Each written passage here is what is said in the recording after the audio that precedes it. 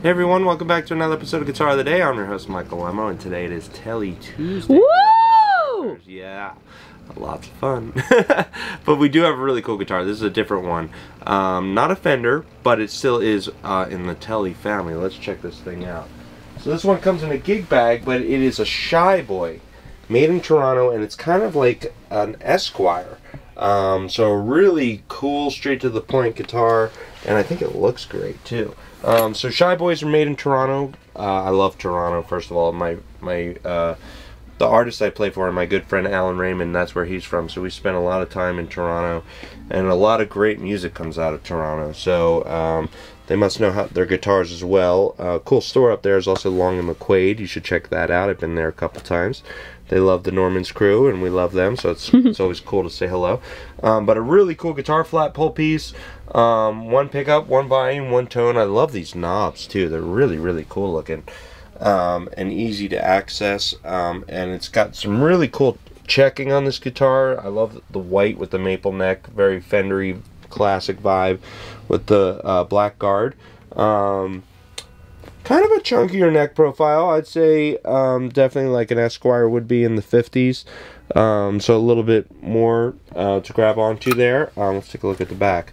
Uh, checking, of course, continues. Uh, skunk stripe on the back. Really nice neck. A little slight V there, which would make sense for like a 50s kind of profile neck. Um, but a good weight on this guitar too.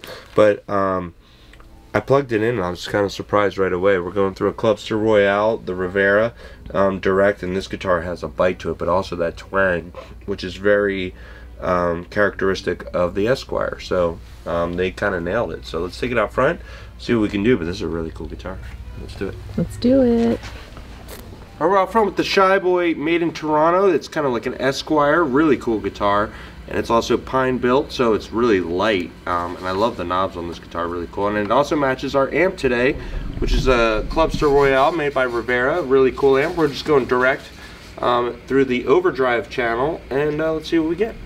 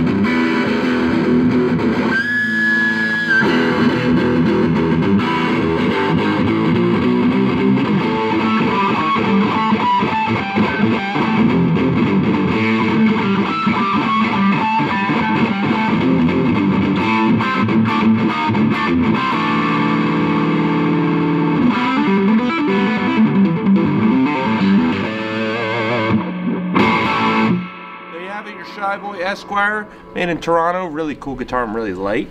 Uh, you can check them all out at normansrareguitars.com and also on Instagram and Facebook. I'm your host, Michael Lemmo. See you soon. Toodles.